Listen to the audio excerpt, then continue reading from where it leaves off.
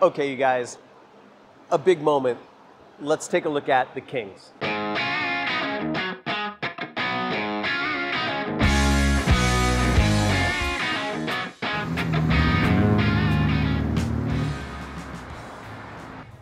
Frank, I'm super excited. I am too. Yeah, so here we are finally. Um, uh, it, it's been a long, a long time for some of these projects. You and I have been talking about it for a long time.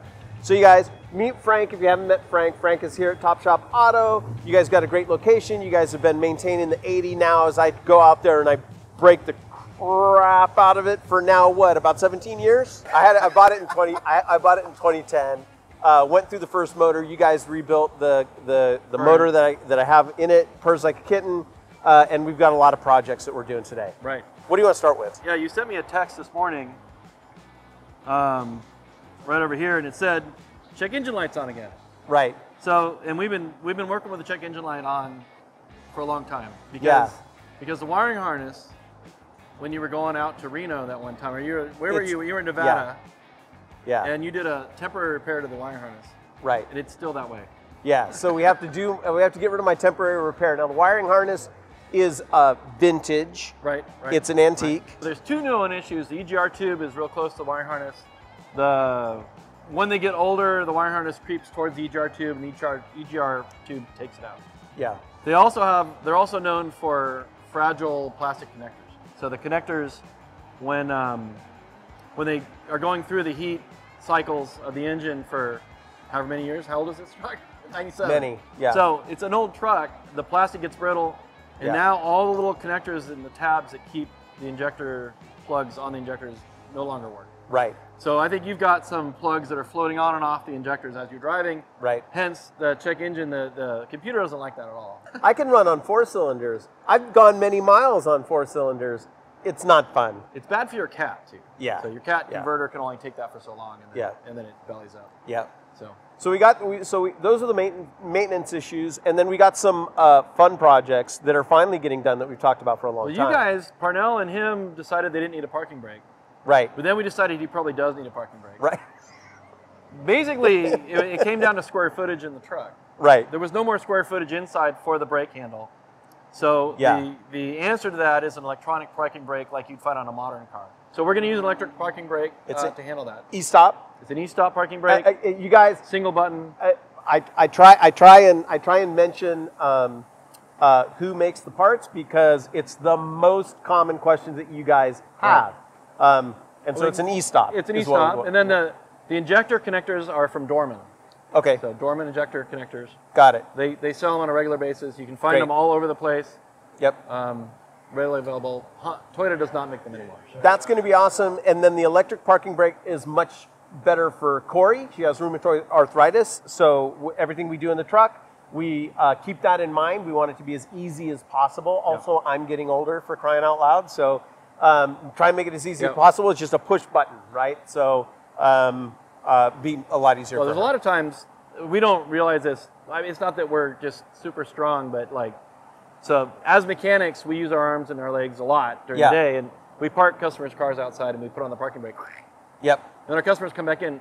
I can't get the parking brake off, so Right. we got to go out there Right. and, and click it down a few Yeah. more clicks so they can Yep. leave. I've learned that for Corey. Actually, I can't go Rick on the thing because she's like, "I great, thanks. I can't do Yeah. this." So Yeah. this alleviates all of that. Yeah, so that'll be that'll be great.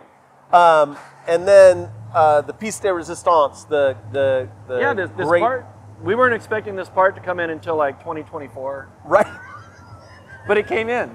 I it was a nice surprise. So like- we ordered we ordered King shocks in January of 2021. and you guys know I've been talking about King suspension for, So- since 2010. Yeah, So it's really the right choice because of the amount of off-roading that your truck does. yeah, It, it, it does more off-roading than any of my other customers do, yeah. and and no other shocks have been able to handle it. Right. So we're, we put a variety. Yeah, we put a variety of shocks on there, and you guys know. So, a little plug for the Overland Bound community. Go find out about becoming a member, so you can talk to our worldwide community about what gear they use. Right. And King suspension, King shocks, um, are kind of the. They have been for a long time uh, the standard. They just happen to be really hard to get. We do get beat out by the trophy trucks and stuff. Uh, Yeah. we're secondary to Yep. to their mainstay is racing. They really Yes. make race equipment. So we're, we're not racing. So, Right. So we don't, you know, Right. So we had to wait. Ordered it in uh, January of uh, 2021, and finally got it They're here. here. And I'm really excited about that. I mean, it's going to make a world of No, difference. so it's going to be here. great. Okay. Hey, Frank. Uh, you and I are going to slide under the truck Yep. and see if we can find a spot for that uh, e-stopp emergency brake. right. It's got to go. It's not going inside anymore, and it's and it's about that big and about that wide. You'll see it when, we, Yep. when we're in there. It's got to go somewhere, and it's got to be logistically in a place that can actually pull the cables for the rear brakes. Yep. So we'll kind of go over that system, and we'll go over where where we can put it. Great. Let's do it. Okay. All right.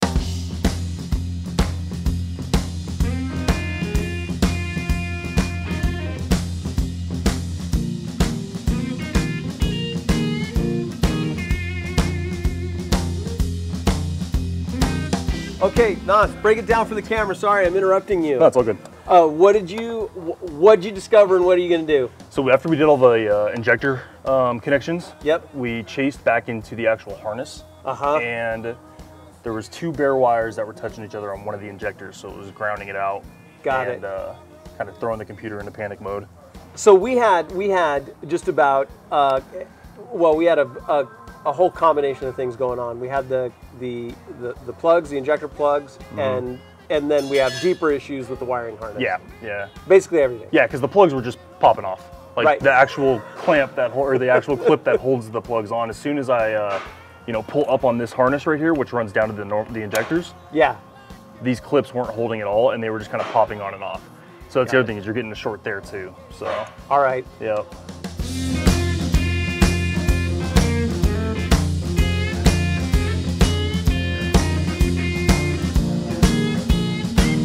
So e-stopp. E-stopp. Yeah. Of course, we don't have the e-stopp there right now, but the first step to the e-stopp is undoing the parking brake from inside, putting it down here, and it's going to make an S turn around the differential, back up here, and we're going to put the e-stopp on this frame rail. Cool. And then all we got to do is run the wiring, and wires, as you know, we can run wires anywhere. We Yep. you know, so run wires inside to the switch. Frank, if we, we're going to be done by lunch. No.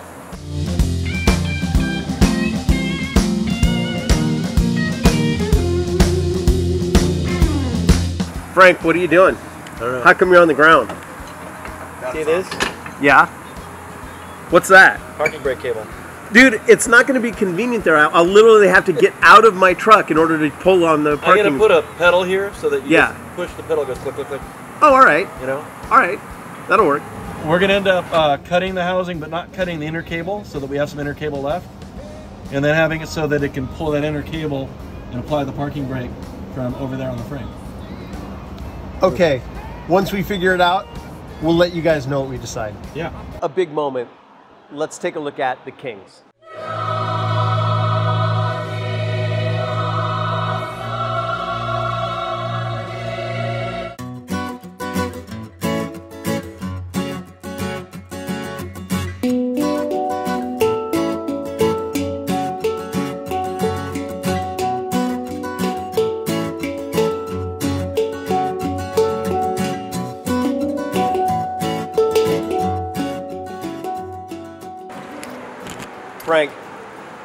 Explain to people how they work. For the unindoctrinated, imagine you've never had an off-road truck and you have to speak to the microphone. Okay. There, there you go. So the only purpose for shocks is to keep you from bouncing. That's how they work. Great. Okay. No bouncing. Uh, these are built to be abused. Yes. Yeah. Yeah. You can you all day, every day, over the bumps. Yep. Folks that are listening may not understand the difference between, oh, sometimes I go down a dirt road, and no, I'm bombing down the Mojave Right. Road constantly in my Right. truck. Yeah. Four hours of Mojave Road Yeah. Right. is abuse. And, right. It's abuse. And and normal shocks will say, see normal you shock normal shocks will melt all the stanchion seals. The stanchion is the big part on these, Yeah. which is really big on these shocks. We're like donut all over. Oh yeah.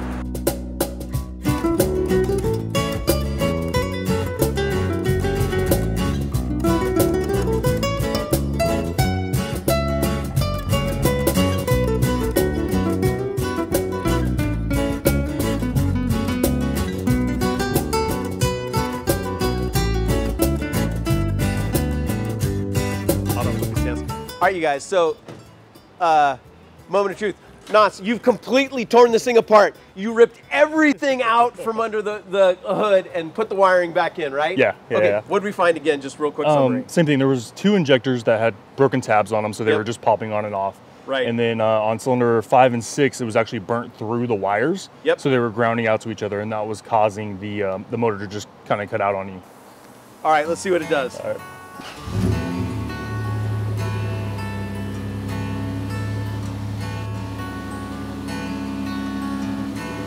No, seriously.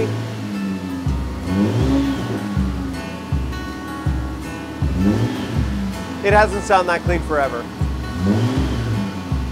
The belts aren't humming. It is freaking smooth as anything. That is Maybe we're gonna give it some more juice. awesome. It sounds good. It sounds good. Sounds great.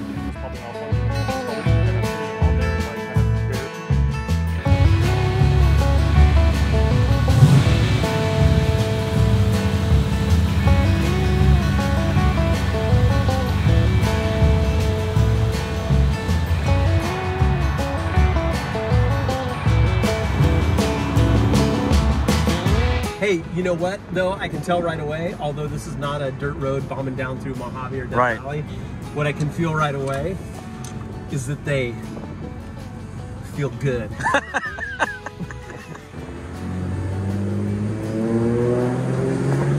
nice. It's got pull. I think the wiring harness work Helped.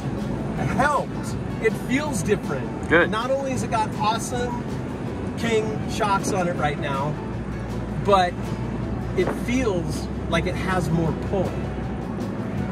That is awesome. That's good. Well, because I was running on five cylinders. You know, Possibly. So it, it's, it's possible that one, five and a half. it's got one sixth more power.